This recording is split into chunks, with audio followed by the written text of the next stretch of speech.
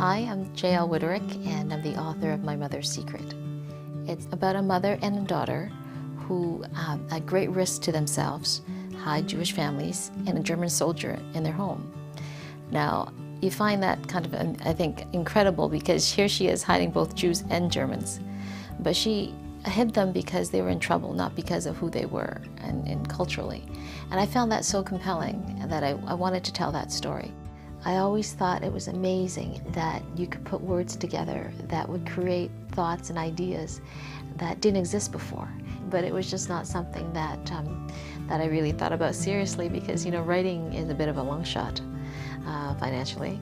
And so I went down the road sort of more traveled or more certain, and I went to business school. And um, now that I don't have to worry about where my next meal is going to come from, I circled back to something that I've always wanted to do. I approached uh, many publishing houses and I either received no response or a no thank you response.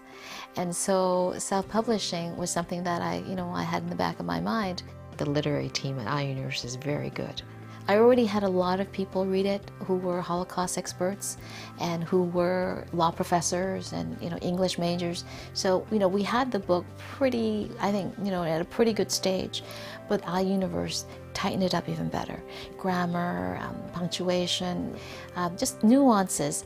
Uh, I found fantastic. They made a big difference in um, being able to shape the book to have that professional feel to it.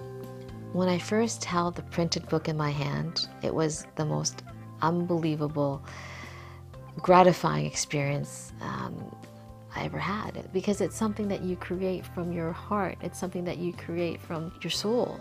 And to see that, you know, in something that is, is tangible and that you're holding it, I held it against my chest and I just, I breathed, I breathed it in. I was so, it was such an emotional feeling at that moment. I, I was so happy.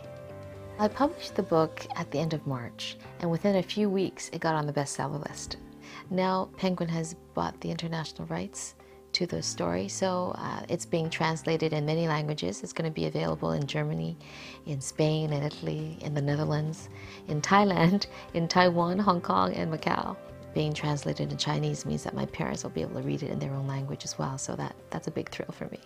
I want people to realize that for me, writing was a dream. Writing a book that people would want to read was something that I had always hoped that I would do, and, and I didn't know that I would do it. Uh, but this book and the success of the book, which has caught me by surprise as well, I think tells me that, you know, if you've got a dream too, go for it.